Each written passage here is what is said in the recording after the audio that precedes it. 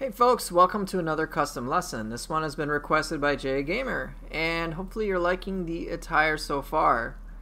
I did my best. I couldn't unfortunately get the character code to work for whatever reason. I'm guessing it's because you're on console and I am on PC. In any case, what's the theme this time? Dodge tank practice build with katana and tonfa. It doesn't really matter what weapons you choose. And then there's a bunch of considerations, so as opposed to just listing them all out, and talking about them on here, let's get on to what I worked with. So, Demon Horde Katana and Demon Horde Tonfa, I wanted to emphasize the sense of practicing to go for those grapples, so I deliberately chose anima bonus grapples on these weapons.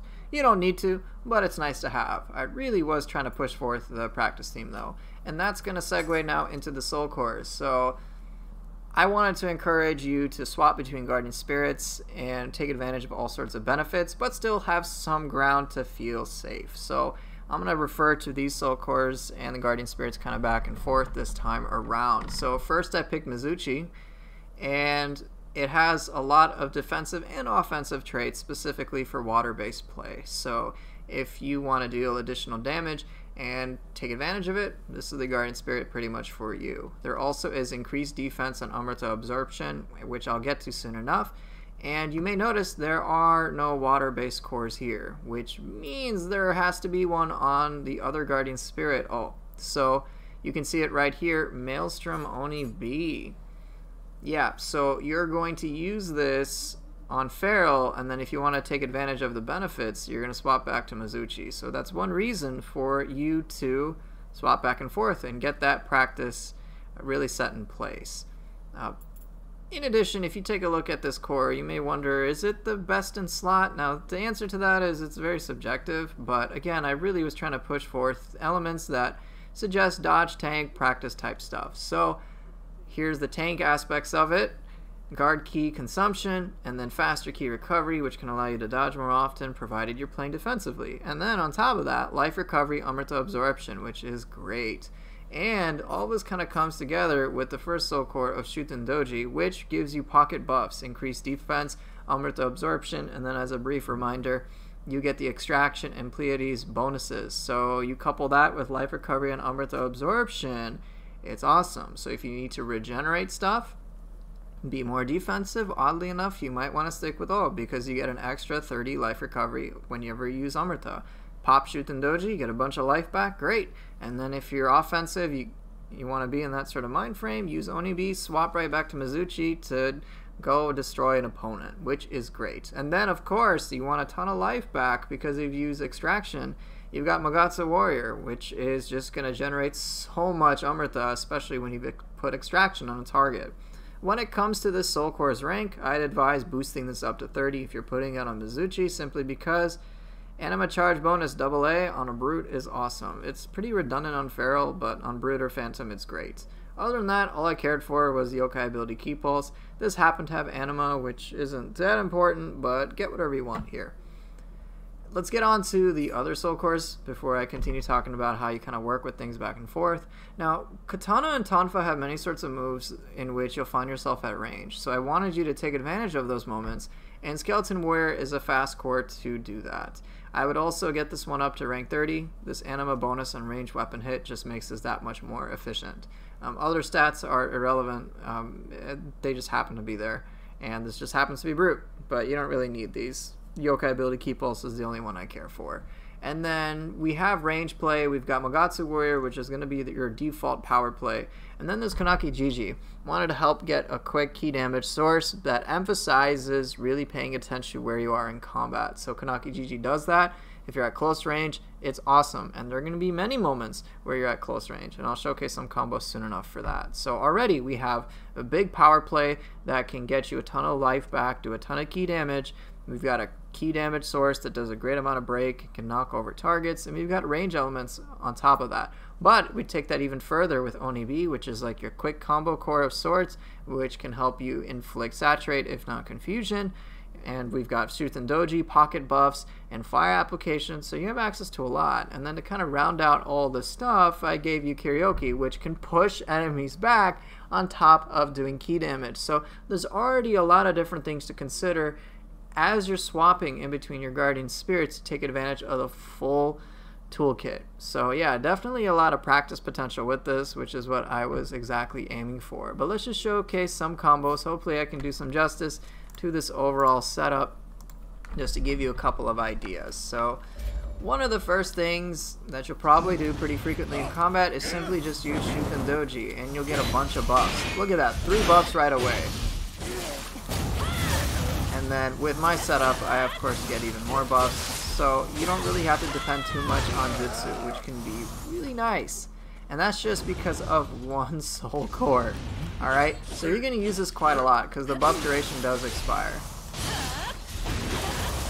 I mean, look at this. This is beautiful, isn't it? Target back. Kill him. There you go. Kiryoki into Mountain Breaker is pretty nice. Now let's showcase some other things that you can do.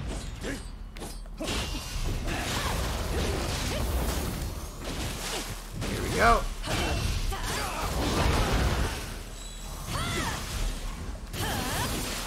Just a few things there. Let's showcase some brute things against a human.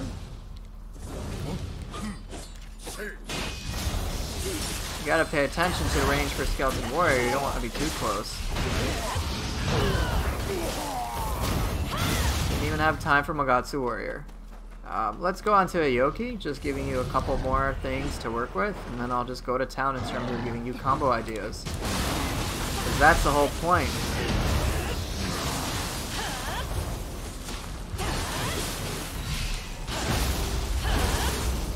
And of course, Magatsu does a ton of damage per second, so feel free to use that as your default power play. But yeah, you gotta switch back and forth a lot.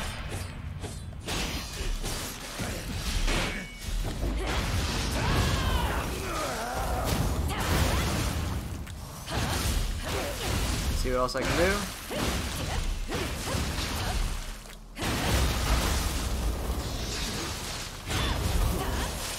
Pretty neat. Alright, let's go to town on a Yoki, start showing showcasing Yokai Shift as well.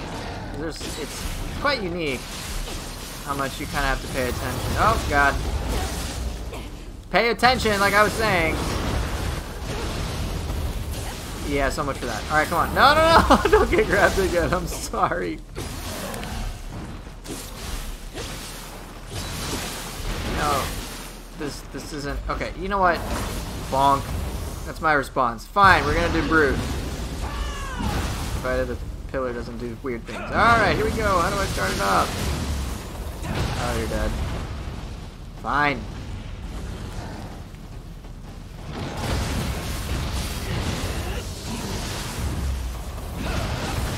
Super damage.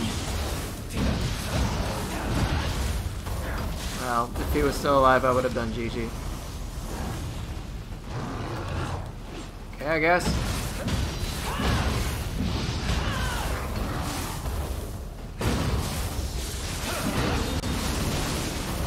Oh, and how, how dead are you? Super dead. Alright, switch over to Feral. Feral's a little different. Feral, you gotta be like really in the thick of things. So you really kind of have to pay attention. So a lot of regular attacks. But as you can see, it can be pretty fast. Use Onibi uh, towards like the end of a combo chain.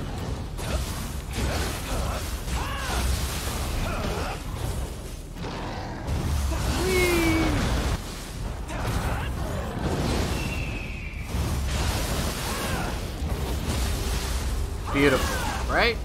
There's definitely a lot of aggressive action. Showcase both of these against a human.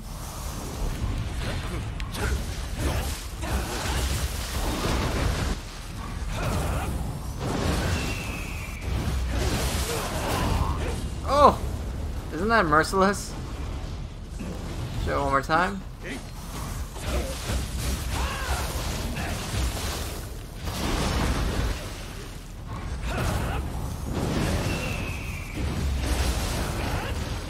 yeah, it's definitely pretty fun. Onibi with Feral can be pretty fun. Because it's just like one, two, three, four to do a bunch of attacks, and you can usually charge right off of that. I'll show it one more time.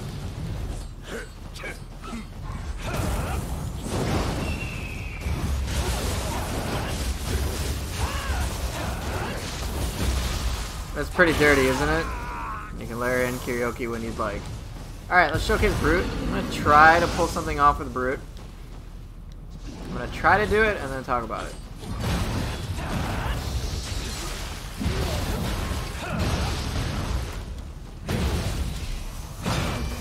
Damn it, broke his Ki. Um, you can sometimes knock opponents into the air using uh, the Brute attack and then like try to cancel some actions either using Skeleton Warrior or Magatsu Warrior.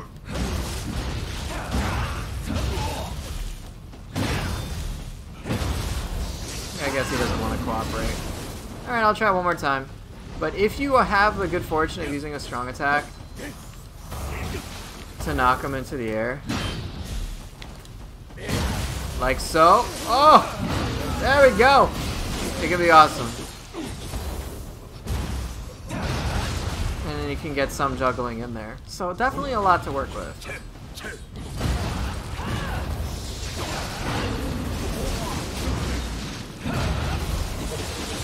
Oddly enough, Brute's going to be played almost at range, and Feral's almost going to be played at close range. So it's, it's just something kind of cool to consider, I suppose. So let's just showcase other things.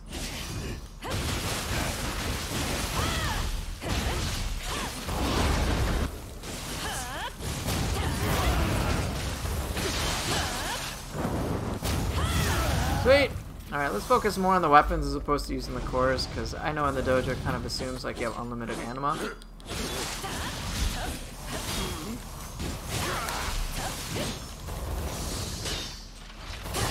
Very nice.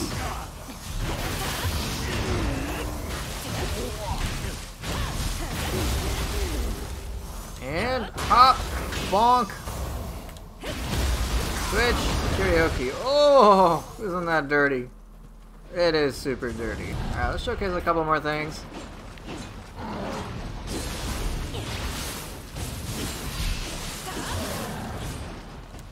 Where, where are you going, dude?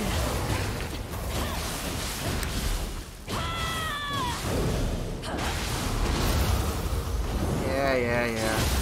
Try Elements of Confusion is dirty. I like using the Brute attack also in general and then following that up with the Soul Core use. Flash attack is always a good moment to do a Brute attack because you're not going to incur any Ki loss. After having Flash, doing a Brute attack is pretty good too. I should actually do that. Come on.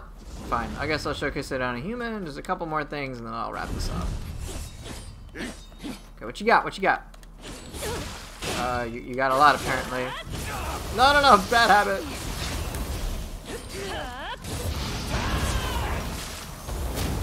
But I know I like doing it after flash attack, and with Tonfa's flash attack, which is like near instant, feels extra good. Ah. Oh.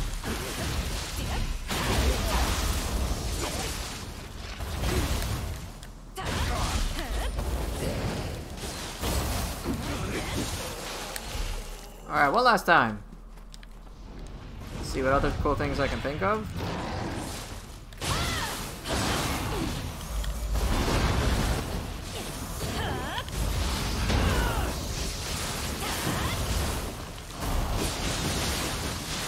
I gotta be mindful of the Skeleton Warrior stuff. So yeah, you'll have to pay attention.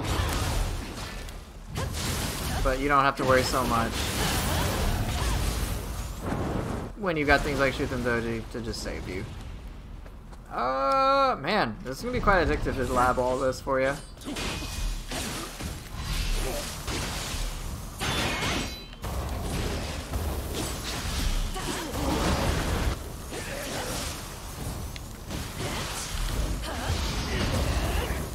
Ah!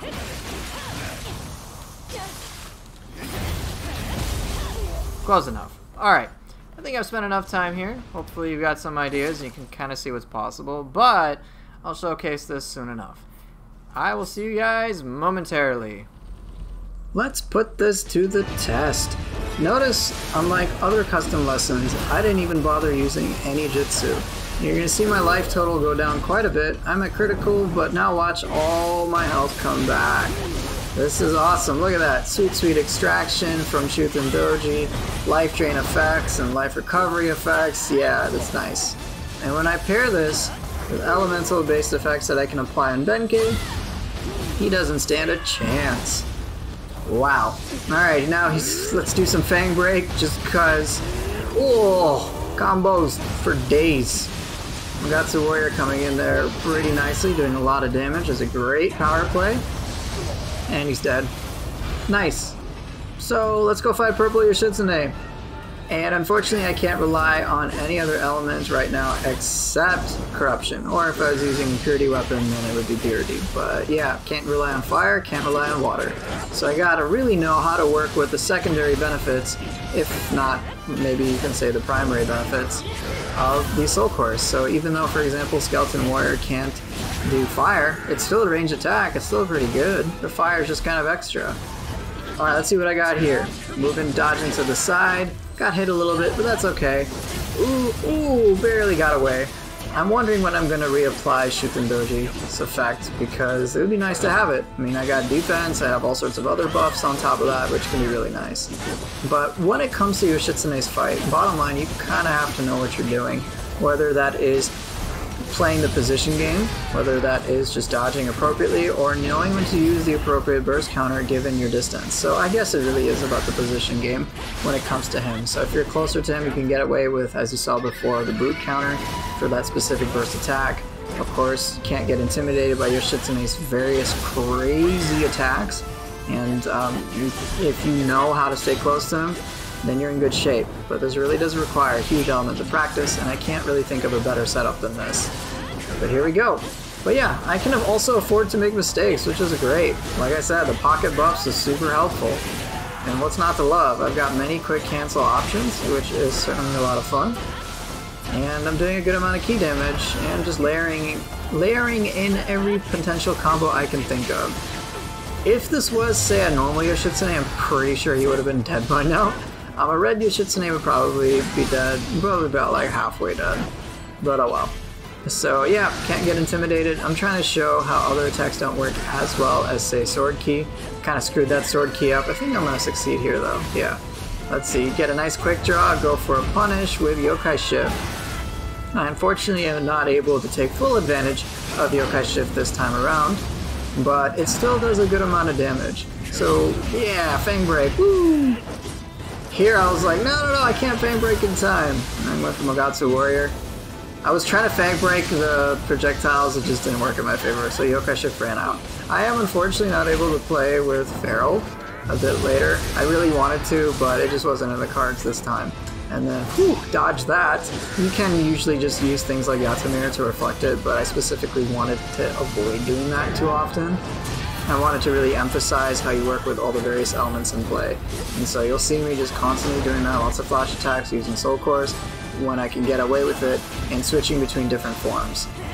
Oh, oh, and countered, very nice. So I used Feral that time because I was a little at range. But I think the next time I do this, let's see what's going down. I think the next time I do it, I deal with it by a brute because I'm close, because I'm able to dodge it. Yeah, see, doesn't that feel just like extra awesome? Because it's awesome. So in any case, just trying to showcase the power of really understanding your weapons toolkit. And on Yoshitsune, this is at a premium. Alright, Magatsu Warrior, quite the risk. But it panned out. And then here, check this out. Flowing Shadow, avoid many of the attacks. Severing Spin, yes! And then Skeleton Warrior. Cool little, cool little combo, right? Oh, just barely avoided that, man. That was super risky. And there you go. So I think Yoshitsune is a great enemy to practice a lot of these different elements against, whether it be um, using the appropriate burst counter, using certain soul cores, depending on the situation. See, like I use Skeleton Warrior because I saw Yoshitsune backdash, I didn't realize he was going to go on a perch. But oh well. Yeah, damage, damage. But yeah, he's getting close. And I'm sure you can see the remaining runtime, so I really got to know how I work with all these elements together. I really rely upon the Sorta Bunch. Uh, I, I, wanted to do more things with Tonfa, so see me swap that out, I think, at some point. Here's that combo once again. showing you that I got my knowledge of what I can get away with. But yeah, there you go. There's some Tonfa play. Do I do Stronger Strikes? Do I just do boring, like... I feel like I just do boring things with Tonfa. Alright, let's see how I continue working with it. Like I said, I was trying to work with Feral Yokai Shift, but it just... I, I'm at 97% gauge. I was trying to get to 100 so badly, but I just kind of couldn't. Come on, Tonfa, do Tonfa things. Mountain Breaker, no? Yeah, whip that up. Alright, Reflect. Yeah, I didn't get to do with Tonfa stuff as much as I'd like, but that's okay, I don't think you're gonna complain. And Severing Spin for a finish. Yeah, you're done. So yeah, hopefully that was informative. Thank you guys so much for watching, I hope this was helpful, and of course, I will see you guys next time.